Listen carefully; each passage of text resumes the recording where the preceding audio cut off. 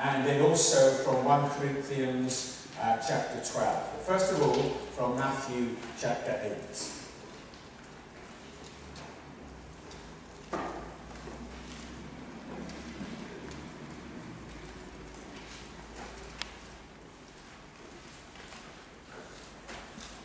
Matthew chapter 8 and beginning at verse 1. When Jesus came down from the hill, large crowds followed him. And then a man suffering from a dreaded skin disease came to him, knelt down before him, and said, Sir, if you want to, you can make me clean. Jesus stretched out his hand and touched him. I do want to, he answered. Be clean. At once the man was healed of his disease. Then Jesus said to him, Listen, don't tell anyone, but go straight to the priest, let him examine you. Then, in order to prove to everyone that you are cured, offer the sacrifice that Moses ordered. When Jesus entered Capernaum, a Roman officer met him and begged for help. Sir, my servant is sick in bed at home, unable to move and is suffering terribly. I'll go and make him well, Jesus said. Oh, no, sir, answered the officer. I do not deserve to have you come into my house. Just give the order, and my servant will get well. I too am a man under the authority of superior officers, and I have soldiers under me. I order this one go, and he goes. And I order that one come, and he comes. I order my slave do this, and he does it. When Jesus heard this, he was surprised. He said to the people following him, I tell you, I have never found anyone in Israel with faith like this. I assure you that many will come from the east and the west. They will sit down with Abraham, Isaac, and Jacob at the feast in the kingdom of heaven. Those who should be in the kingdom will be thrown out into the darkness. They will cry and grind their teeth. And Jesus said to the officer, Go home, and what you believe for you. The officer's servant was healed that very moment. Jesus went to Peter's home, and there he saw Peter's mother in law sit in bed with a fever. He touched her hand. The fever left her, she got up and began to wait on him. When evening came, people brought to Jesus many who had demons in them. Jesus drove out the evil spirits with a word, and he healed all who were sick. He did this to make what the prophet Isaiah had said come true. He himself took our sicknesses and carried away our diseases turn over to 1 Corinthians uh, chapter 12, and we begin to read there from verse 4, page 216 if you're using the Bible in the pew. 1 Corinthians chapter 12, and reading from verse 4.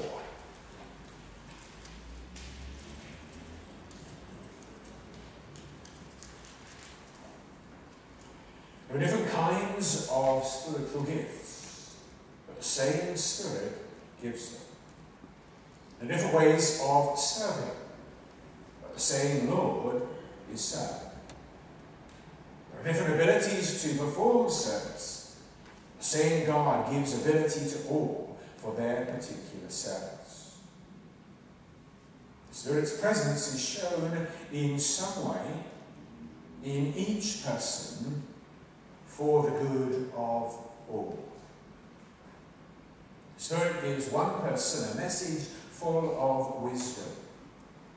While to another, the same Spirit gives a message full of knowledge. One and the same Spirit gives faith to one person, while to another person he gives the power to heal.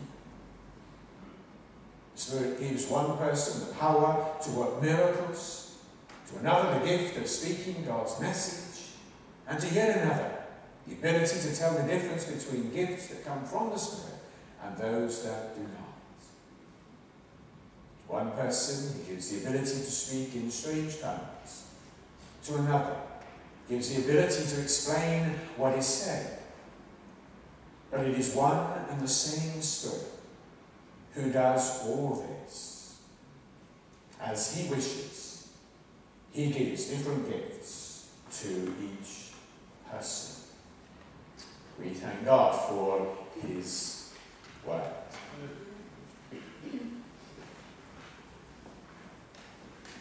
I pray that you may enjoy good health, even as your soul prospers. That's how the Apostle John prays when he writes his third little letter.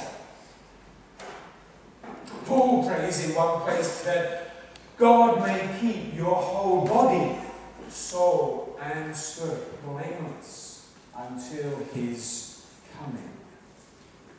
We've just read in the Gospel of Matthew some of the many healings that Jesus performed. And in the letter to the church in Corinth, seeing that God gives gifts to his church, including gifts of healing. And so as we continue to think about the Holy Spirit, the presence of the Spirit, the working of the Spirit of God within us and among us, we come this morning to think about gifts of healing. It's a huge topic. This morning we would do nothing more than make a tiny scratch, as it were, upon the surface of it. In some ways it's a difficult topic. At times it's a very emotive one. There are times in life when it's very hard to see how good can come from much suffering. I hope this morning as we look at the scriptures of Matthew and Corinthians, but also others, Isaiah and, and First Peter, that we might just begin to say, yeah, it's time we began to pray more for one another. Time for us to be alongside one another when we are not well, when we are suffering, when we are in trouble. Yes, it's good to put an arm around someone's shoulder. Yes, it's good to pray for God's peace. But let us also pray for God's healing. I say that because I believe that healing is something that is natural. It is natural. Healing means to, to make well, to make strong, it also means to restore to its original condition. So that sickness and disease is a sense of weakness. It is less than what we should regard as normal. It may be a weariness from the effects of too much work. It may be suffering injury or, or disease in different kinds of ways. But The Old Testament verb to heal, rapha, is a word that means to, to bind together, maybe even to stitch together. Which, of course, gives us the idea of stitching a wound in order to help it to heal. The words in the New Testament have a similar kind of meaning. The idea of making strong. The idea of attending to one who is weak in order to bring a cure and to help. The word that Peter uses, and we'll look at 1 Peter chapter 2 in a few moments, the word that he uses there can be used in a very literal way, of physical healing, but it also has a, another aspect, a figurative aspect that most commentators believe refers to spiritual healing, that healing of our relationship with God. Indeed, sometimes within the Gospels, when we read the words Jesus healed, it's actually the Greek word sozo, which means to save. Giving that idea that Jesus saves from sickness and disease and pain and suffering. And of course, when we start to speak about healing, then it's a huge, huge uh, category. There is, of course, that spiritual healing. Something particularly as we look at uh, Isaiah 53, that he was wounded for our transgressions, he was bruised for our iniquities. By his stripes we are healed. Speaks of that spiritual healing of our relationship with God. In Matthew 8, it's clear that Jesus healed the bodies of those who were not well. Sometimes it's a restoring of our, our emotions that we need. Some emotions are good and they're right. Some are right at the right time and in the right place. But too much anger and bitterness that eats away and destroys us, makes us weak, and we need to be restored. Sometimes we struggle with mental health, either because of stress or maybe a severe accident or, or some kind of breakdown. And we need to pray for God to begin to renew and restore and to, to build us up. And that sense of healing in the broadest way. So it comes as we seek to be there with one another. Encouraging, helping, walking, journeying together because sometimes it's a journey towards healing and health. But I believe that healing is natural because it's to restore and to put back the way it should be. I believe that healing is natural because God created everything good. Those are words that are repeated again and again in Genesis chapter 1. God saw that it was good. Read down a few verses. God saw that it was good. Read down a few more. God saw that it was very good. So if Genesis chapter 1 teaches us that God is the creator of all things, and surely Genesis teaches us then Genesis chapter 1 must equally teach us that God created all things good. However, we know from our own experience of lives. We know from the world around us as we look at it that something has gone wrong. The world is not as God made it, but also it's not as it will be either. Wonderful vision that is given in Isaiah 11 of a day coming when the lion will lie down with the lamb. The cry and the hope of Romans chapter 8 that all of creation longs to enter into the freedom and the glory of the children of God and to be released from death and decay. And the fulfillment of that hope in Revelation 21 no more pain, no more sickness, no more death.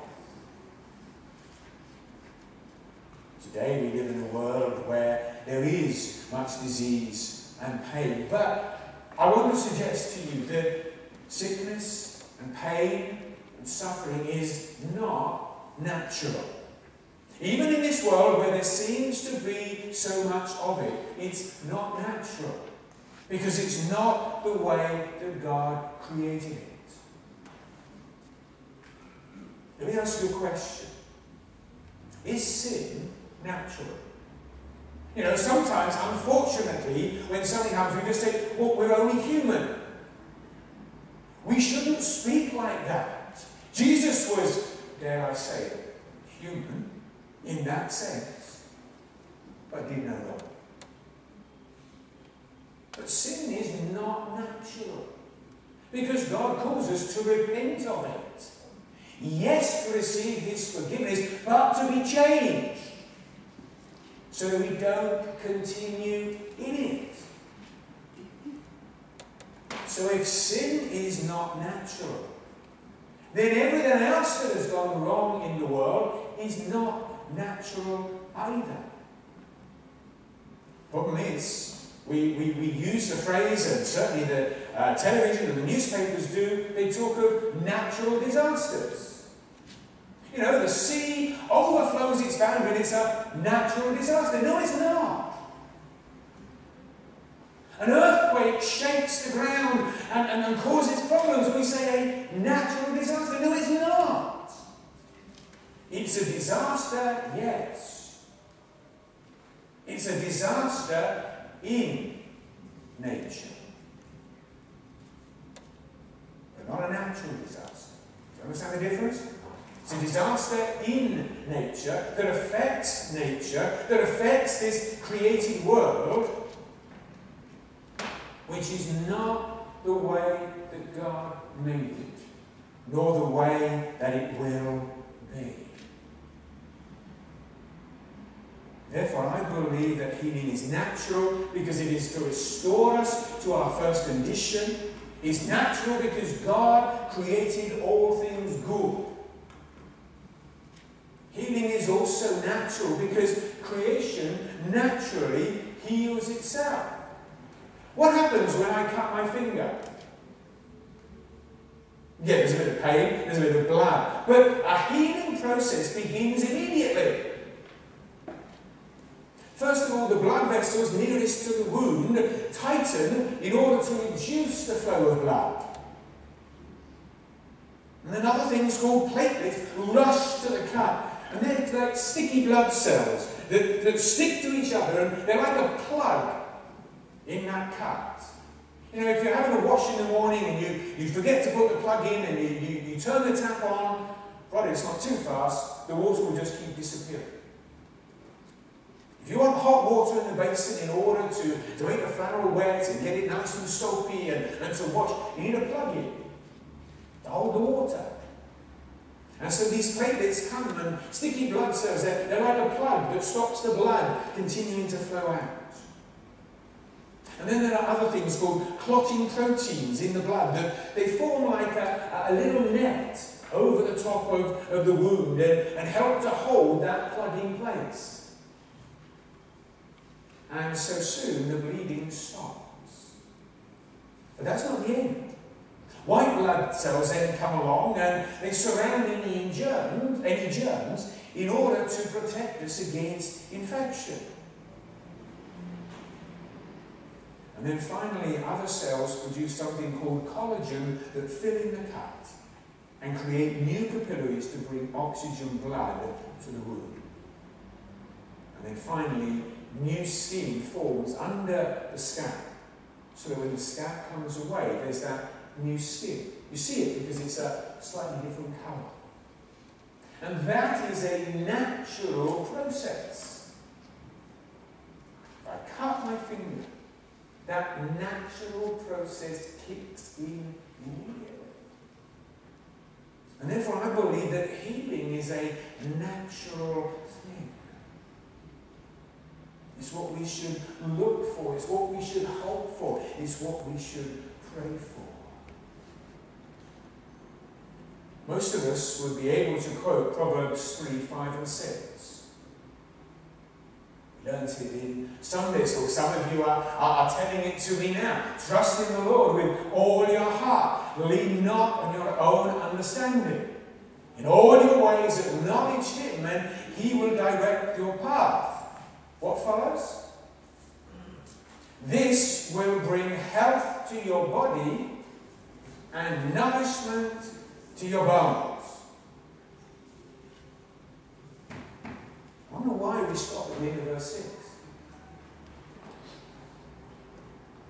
I know we have to stop sometime, and I know we can't learn from the beginning of Genesis to Revelation all in one go. Proverbs, of course, is not setting down some hard and fast rule. That always is the case in absolutely every situation every second of the day. And it's called Proverbs because they're short, well known sayings that provide us with a general truth. Show us the way that things will often be. And if you read on in uh, Proverbs chapter 4 you get towards the end of the chapter, it, it says that if we pay attention to the words of the Lord, they are life and they are health to our body. That's why I believe that healing is something natural.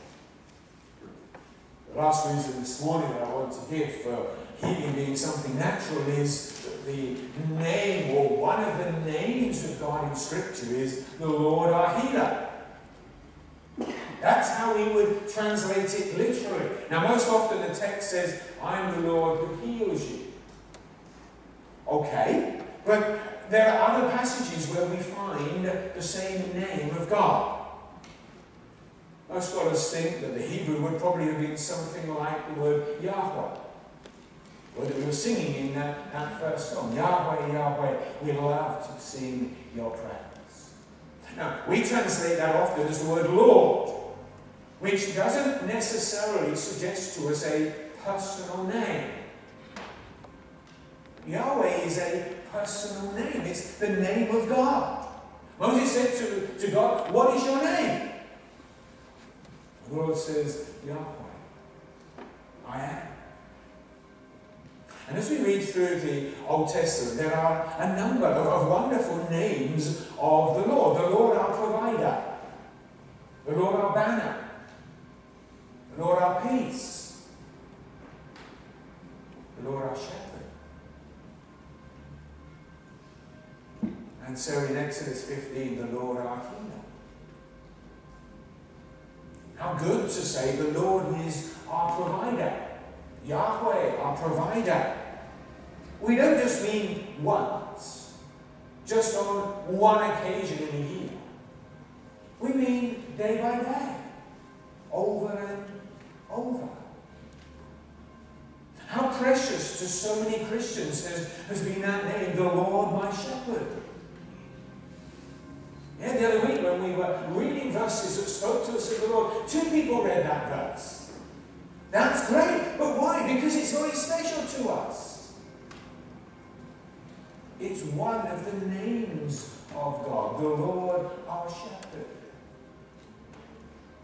And so equally I want us to see that Exodus 15 is the name of the Lord. The Lord our healer.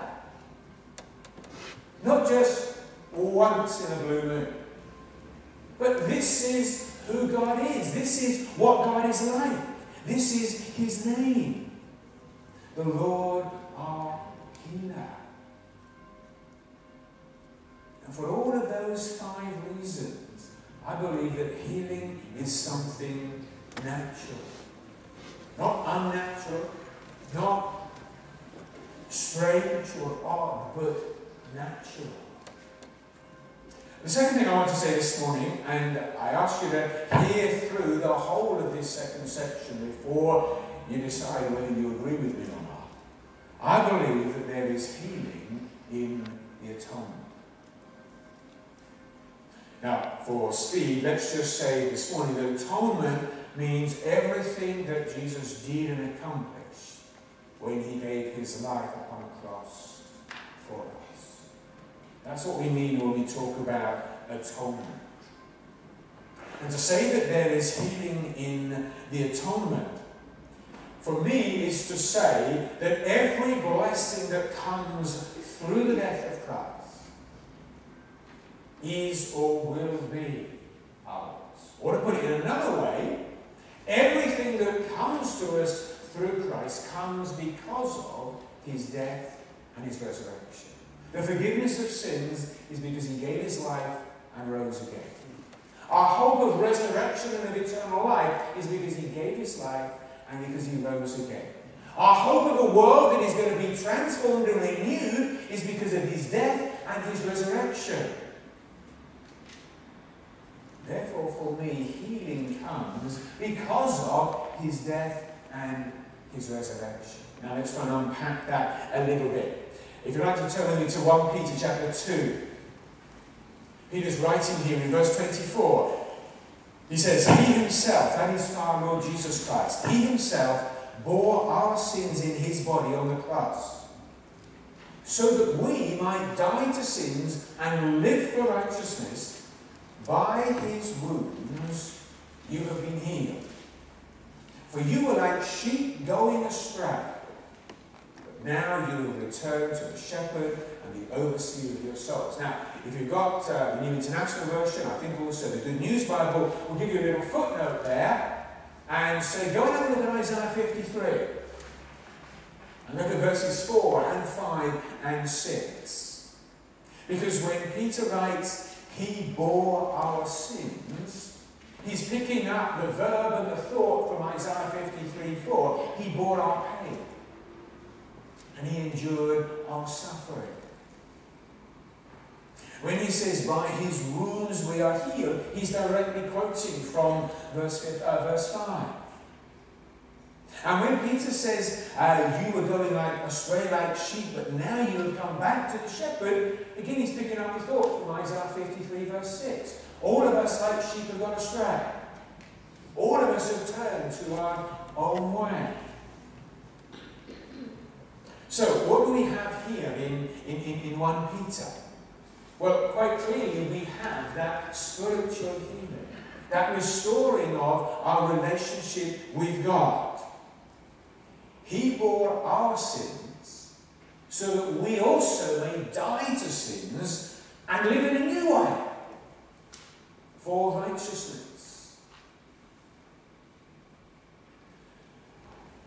Then we have to deal with the phrase, by his wounds you have been healed. Now, there's one of two ways of looking at that. Either that Peter is now adding a, a second concept, a, a second idea here. First idea is that we might die to sin and live for righteousness. Second idea is that we might be healed. Or we can simply say that statement, by his wounds you have been healed, is, is summing up what he has said so far. Christ died for sins that we may also die to them and live for righteousness. And our relationship with God may be healed. And some people understand it the first way. There is a new thought coming in here. And they take it to refer principally to physical healing. Others take it that he is simply summing up what he said so far.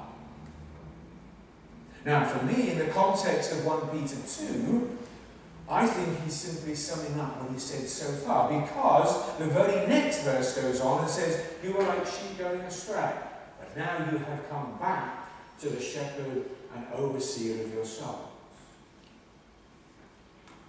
So if we take by his wounds you are healed in this verse to mean physical healing, then Peter seems to be jumping from one thought to another and back again. Now it's quite possible that he did. But for me, I think the main emphasis in 1 Peter is upon that healing and that restoring of our relationship with God. That forgiveness, that dying to sin, that living a new life because we have come back to the shepherd of our souls. However, others will insist that the verb that is used there, by his wounds you are healed, refers not only to the spiritual, but also very much to the physical. But if we come back to Matthew chapter 8, read the whole of those first 17 verses in order to get the picture.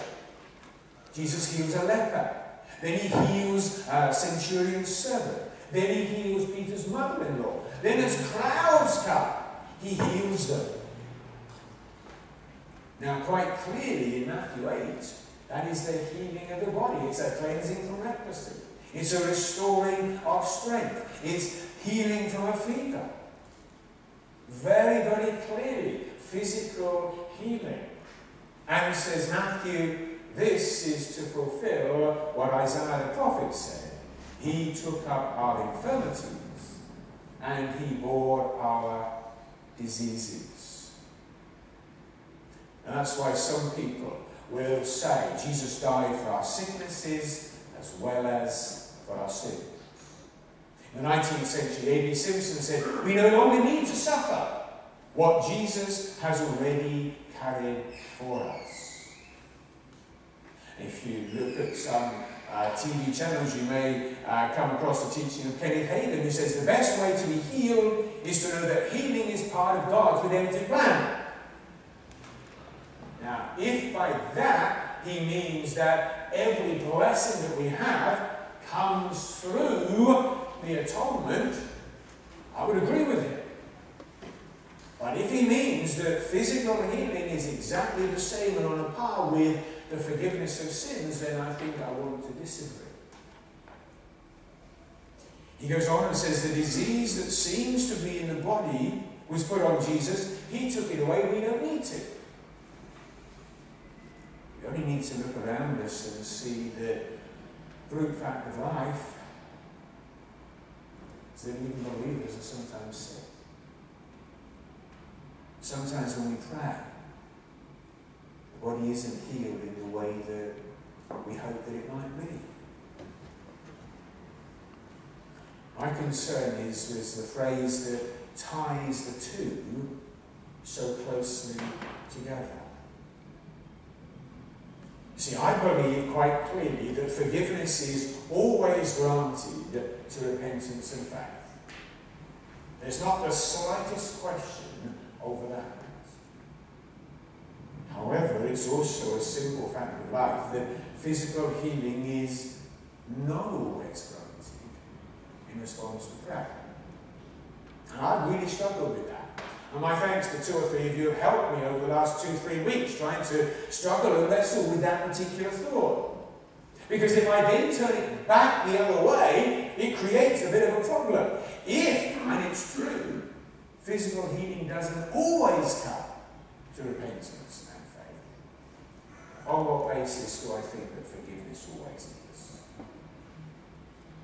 So two are linked together. The two flow from the atoning work of Christ.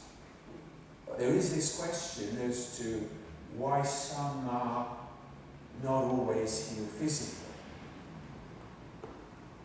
Let's begin by looking at why we say forgiveness is always granted to repentance and faith. I say that because that is the purpose of the atonement.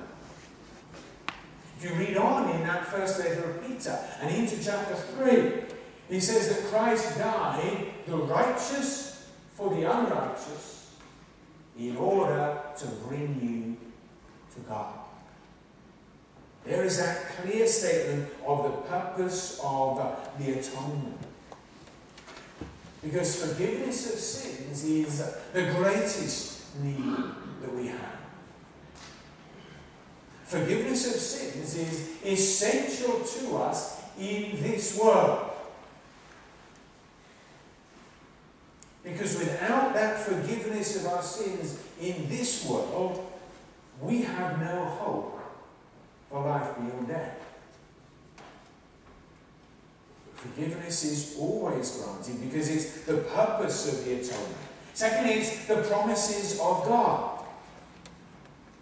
Jesus said that anyone who comes to him, there's no way that he would put a hand up and say, Don't come in here. There's no way that he would send them away.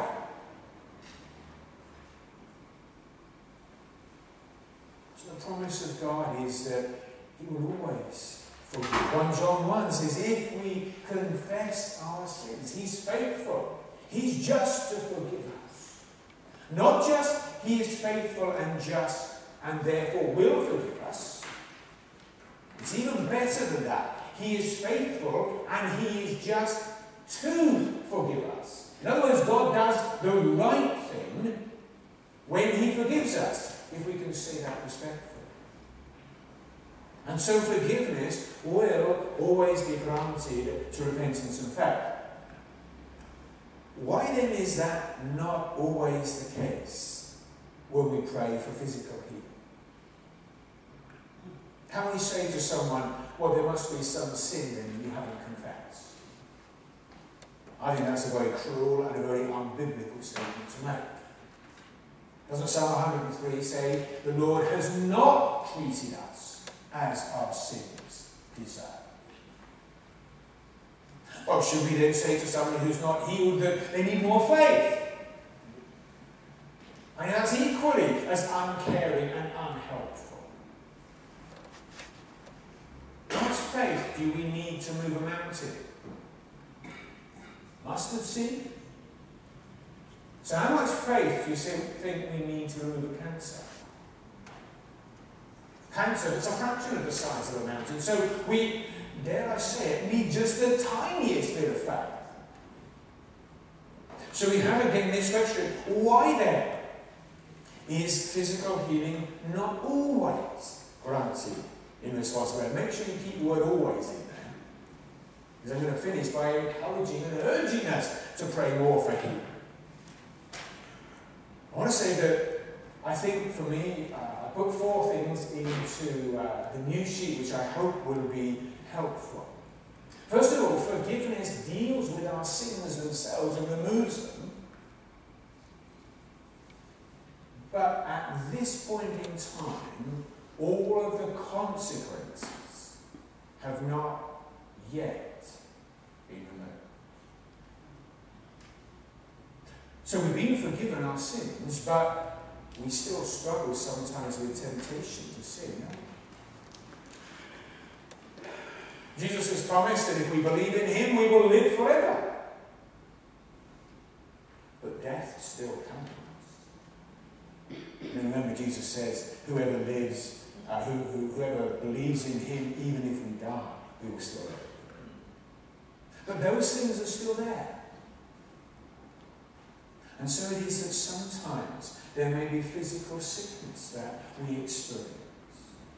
Because while our sins have been dealt with and forgiven, while the curse has been borne, while everything will come to us through the cross, at this point, not all of the consequences of sin have been removed totally. Second reason is because creation is under a curse. In Genesis 3, God cursed the ground. And that ground was a part of the physical creation. And our bodies are a part of that physical creation. We need to be careful when we say that the ground and maybe the whole, the whole of creation lies under a curse. Still, God blesses in many ways. So much good in creation. The curse has indeed been borne by Christ, but it's not yet been totally removed. So those verses once again, Romans 8, that creation waits eagerly, longing for its freedom from pain and death and decay, longing to enjoy the freedom and the glory of the children of God. Having to wait for it. Thirdly, as Christians, we are not insulated from the troubles of this world. We live in this world. We suffer some of the effects of the curse, as does the rest of creation. Of course, we should pray for healing, but we're not insulated from the troubles of this world. I hope you don't feel that the last statement there is a bit of a cop out. There is a mystery in God's ways that we must accept humbly. Our ways are not the same as God's ways. Some things that we don't understand and we can't. There's a mystery that we need to submit to. And having said firstly that I believe that healing is natural, secondly, I believe that healing is contained within the atonement. What I mean by that is not that absolutely every disease will be healed immediately in this world. What I mean is that every blessing that comes to us spiritually, emotionally, and physically comes through that sacrifice of and therefore, thirdly, I believe that we should pray for healing. That's why we took those words from Corinthians. God has given gifts to the church. We see in Corinthians the work of the triune God, Father, Son, and Holy Spirit. And in those gifts, those manifestations of the presence of the Spirit are what are called gifts of healing. That's the way we ought to be translating that. Not just power to heal, but gifts, and gifts plural of healing. I've been puzzling over that one again the last couple of weeks or so. What are these gifts plural of healing? Does that mean that God may give to one person through the Spirit answers to prayer for healing in a, a particular area? And maybe another person has gifts of healing, but in a different kind of way. That might make sense in that they are given to each one of us, but for the good of all of us. Gifts that have been given are to be used. And people may come up with all sorts of uh, questions and all sorts of uh, debates and others, but if gifts have been given, then we need to use them. You know, you give someone a gift for their birthday, and then you'll say, oh, thank you very much for putting it in the cupboard. Don't even bother to unwrap it. How are you going to feel? Might as well take it and give it to somebody else who does want it. Gifts are being given and gifts are to be used because gifts will build up the church. Given to each of us for the good of all of us. And when we seek to pray for healing, think of the joy that will come as God answers those prayers. Don't for a moment think, oh, but when it doesn't happen, just, just leave that for a second. Think for a moment of when God does hear and answer. But even when we do come and start thinking, but sometimes it may not, I still want to say that praying for healing will build up the church. Very fact that I want to pray for my brother or my sister who is not well, who is in pain, who is suffering, is an expression of my concern for them. It's an expression of coming alongside and journeying together through that. We share something of the pain together. We share something of the loss together. We weep sometimes together, and that joins us together. That strengthens us together, and therefore it builds us up. I want us to focus upon those moments when God will heal and the joy that will come, the building up that will come, the gratitude that there will be. So I want us to really seek God and begin to pray for healing with a real sense of faith. Not ever saying to anyone if they're not healed, you lack faith. That's completely wrong. Think of the four friends that brought their friend to Jesus and let him down through the roof. What does Mark say? When Jesus saw their faith, not the faith of the man, though undoubtedly he had faith, but principally the four friends as well as that person. Their faith. So the gifts of healing and praying for healing is about us together coming together in love and compassion and concern for one another and saying, Lord, you've given us these gifts. How do you want to use them in this situation? How do you want to use them now? You see, we think so often of what may not. It's like a British disease. on the basis that healing is natural, that healing is contained within the atonement, on the basis that gifts have been given to the church. I want to say this, come on, let's use them. Let's pray together and let's see what God may do. Indeed, what God will do as we seek Him together. Amen? Amen.